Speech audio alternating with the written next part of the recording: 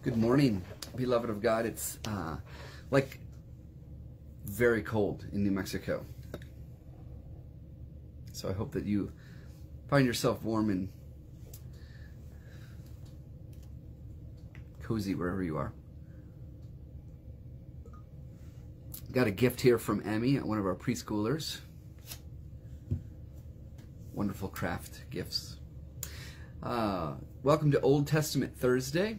If you're here regularly with us uh, anytime throughout the day, um, you'll know that, that this is the day where we look ahead to the Old Testament text for Sunday. Uh, and so today we're invited to the book of Micah. Uh, one of the minor prophets there in our Old Testament Hebrew text, so you can find your way. I should have done this before. Um, to Micah, not Malachi, but Micah, chapter 6, verses 1 through 8. It's a, a little bit of a longer text that ends um, to a familiar place for many, I believe, along the way. Uh, who live with God's word regularly on um, their journey. So read along if you'd like here. Hear what the Lord says. Rise, plead your case before the mountains, and let the hills hear your voice. Hear, you mountains, the controversy of the Lord, and you enduring foundations of the earth. For the Lord has a controversy with his people, and he will contend with Israel. O my people, what have I done to you? In what have I wearied you? Answer me. For I brought you up from the land of Egypt, and redeemed you from the house of slavery. And I sent before you Moses, and Aaron, and Miriam. O my people, remember now what King Balak of Moab devised, what Balaam son of Beor answered him, and what happened from Shittim to Gilgal, that you may know the saving acts of the Lord. With what shall I come before the Lord and bow myself before God on high? Shall I come before him with burnt offerings, with calves a year old? Will the Lord be pleased with thousands of rams, with ten thousands of rivers of oil? Shall I give my firstborn for my transgression, the fruit of my body for the sin of my soul? So here you have this uh, courtroom scene. So all, all, you fans of Law and Order, I'm sure, are out there. Um, and the, so the voice switches a few times here.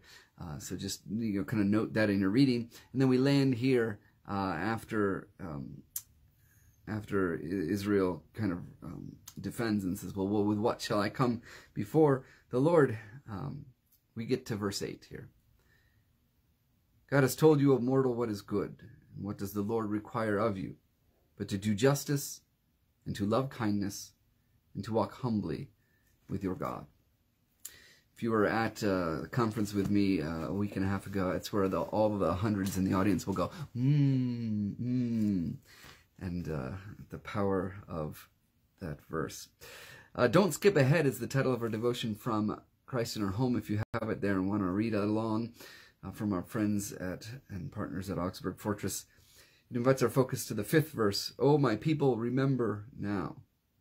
Today's reading climaxes on in a favorite Bible verse for many. What does the Lord require of you but to do justice, to love kindness, and to walk humbly with your God? But before those commands comes one another one. Remember. Remember. Remember the grace God has shown you. Remember the troubles from which God rescued and redeemed you. Remember the saving acts of the Lord. This is the foundation. When we do justice, love kindness, and walk humbly with our God, it is a response.